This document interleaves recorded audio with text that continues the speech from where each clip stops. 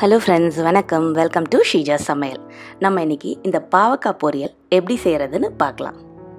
நல்லா டேஸ்டியாக இருக்குங்க இந்த பாவக்காய் பொரியல்.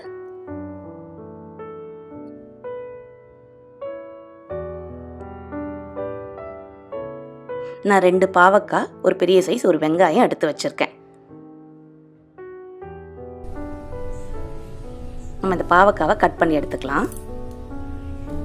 நம்ம முதல்ல மேலே இருக்கிற தோலை நம்ம இந்த மாதிரி எடுத்துருவோம். கட் பண்ணிட்டு நடுவில் இருக்கிற விதைகளையும் நம்ம நீக்கி எடுத்துருவோம். இந்த மாதிரி நீட் நீட்டாக கட் பண்ணிட்டு நல்லா பொடியாக நறுக்கி வச்சுக்கலாம்.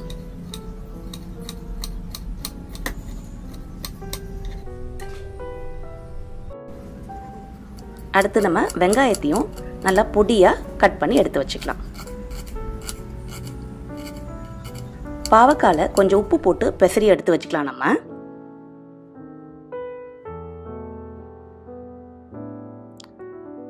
ஒரு அஞ்சு நிமிஷம் கழித்து நம்ம தண்ணி போட்டு நம்ம நல்லா ரெண்டு தடவை அலசி எடுத்துப்போம் பாவக்காவை. நான் இந்த சைஸில் ஒரு ஒரு ஏழு பல் பூண்டு எடுத்து வச்சுருக்கேன். அதையும் நல்லா நம்ம பொடியாக நறுக்கி வச்சுக்கலாம். நான் கடாயில் ரெண்டு டேபிள் ஸ்பூன் எண்ணெய் விட்டுருக்கேன். எண்ணெய் சூடானதும் கால் டீஸ்பூன் கடுகு கால் டீஸ்பூன் உளுத்தம்பருப்பு சேர்த்துக்கிறேன். ஒரே ஒரு வரமிளகா சேர்த்துக்கிறேன். கொஞ்சம் கருவேப்பிலை போட்டு தாளிச்சிக்கலாம். ஒரு வெங்காயம் நம்ம பொடியாக கட் பண்ணி வச்சுருந்தோம் இல்லையா அதையும் சேர்த்து நல்லா நம்ம வதக்கிக்கலாம். நம்ம வெங்காயம் நிறைய சேர்த்துக்கும் போது நல்லா டேஸ்ட்டாக இருக்கும் இந்த பாவக்காய் பொரியல். நம்ம பொடியாக நறுக்கின அந்த பூண்டையும் சேர்த்து நல்லா வதக்கிக்கலாம் நம்ம. கால் டீஸ்பூன் மஞ்சள் பொடி ஒரு டீஸ்பூன் மிளகாய் பொடி அரை டீஸ்பூன் காஷ்மீரி மிளகாய் பொடி சேர்த்துக்கிறேன். நல்ல ஒரு கலர் கொடுக்கும் இந்த பொரியலுக்கு. ஒரு டீஸ்பூன் தனியா பொடி சேர்த்துக்கிறேன். இதை நல்லா நம்ம வதக்கிக்கலாம். நம்ம பொடியாக நறுக்கி வச்சிருக்கோம் இல்லையா பாவக்காய். நான் ரெண்டு தடவை கழுவியும் வச்சுருக்கேங்க இதை. உப்பு போட்டு பெசரி வச்சுட்டு நல்லா ரெண்டு தடவை வாஷ் பண்ணி வச்சுருக்க பாவக்காய் இது. இதையும் சேர்த்து நல்லா நம்ம வதக்கிக்கலாம். நம்ம உப்பு போட்டு பண்ணுறதுனால கொஞ்சம் பாவக்காயில் இருக்க கசப்புத்தன்மை கொஞ்சம் குறையும் நமக்கு. இந்த பொரியலுக்கு தேவையான அளவுக்கு உப்பையும் சேர்த்துக்கலாம் நம்ம.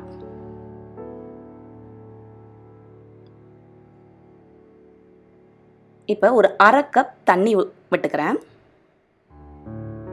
நம்ம இப்போ இதை மூடி போட்டு ஒரு அஞ்சுலேருந்து பத்து நிமிஷம் நம்ம வேக விடுவோம். ஒரு அடுப்பை நம்ம மீடியம் ஃப்ளேமில் வச்சுக்கலாம். இந்த தண்ணியெல்லாம் நல்லா வற்றி இந்த பாவக்காய் நமக்கு நல்லா வெந்து கிடைக்கணும். இப்போ பாருங்கள் இந்த தண்ணியெல்லாம் நல்லா வத்தி இருக்கு. இந்த பாவக்காவும் நல்லா வெந்திருக்கு இப்போ. நல்லா அடுப்பை கொஞ்சம் சிம்மில் வச்சுட்டு இப்போ நல்லா நம்ம ட்ரை பண்ணி எடுத்துக்கலாம். நல்லா ரோஸ்ட் ஆகிட்டு கிடைக்கும் நமக்கு. அடுப்பில் சிம்மில் வச்சு குக் பண்ணுங்கள் நல்லா டேஸ்டியாக இருக்குங்க. எல்லா சாதத்துக்கும் சூப்பராக இருக்கும் இந்த சைட் டிஷ் இந்த பாவக்காய் நம்ம நிறைய வெங்காயமும் சேர்த்துருக்கறதுனால கசப்பு வந்து அந்த அளவுக்கு இருக்காது. நல்ல டேஸ்டியாக இருக்கும். நல்லா சூப்பராக பாவக்காய் பொரியல் ரெடி ஆயிடுச்சு. கண்டிப்பாக நீங்களும் செஞ்சு பாருங்கள் உங்களுக்கும் ரொம்ப பிடிக்கும்.